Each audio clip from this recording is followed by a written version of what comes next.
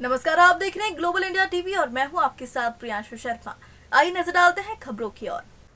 Anjar Barwani road ginning में अज्ञात बदमाशों द्वारा चोरी करने की घटना को अंजाम देने पर पुलिस ने प्रकरण की गंभीरता को देखते हुए एसपी श्री दीपक कुमार शुक्ला के द्वारा additional SP Shri R D Prajapati के नेतृत्व में पुलिस की टीम गठित की गई, तथा अज्ञात आरोपियों की गिरफ्तारी हेतु दस हज़ार रूपए इनाम की घोषणा की गई।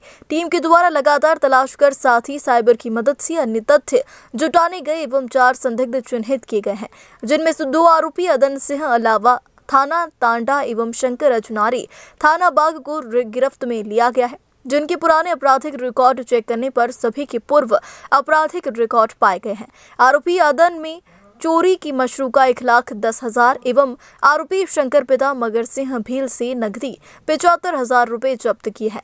प्रकरण में कुल मशरूका एक लाख पिचासी हज़ार रूपए है। गैंग के फरार आरोपियों की तलाश पुलिस टीम द्वारा लगातार की जा रही है।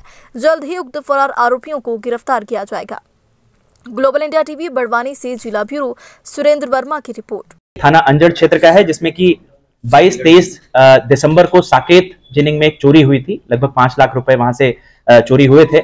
तभी से हमने, हमारे दो एस के नेतृत्व में और हमारी साइबर की टीम, लोकल हमारी थाने की टीम लगातार उस पर काम कर रही थी। इसमें हमारी पूरी टीम ने काम करते हुए चार लोगों को चिन्हित किया, जो कि जिला धार के थे।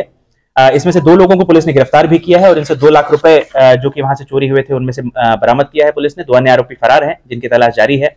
और एक लगभग पंद्रह दिन के जो हमारा एक मुखबिर तंत्र था, उसको भी सक्रिय किया और जो तकनीकी साक्ष्य थे, उसके आधार पर भी काम करते हुए हमारी टीम ने इसमें एक महत्वपूर्ण सफलता हासिल की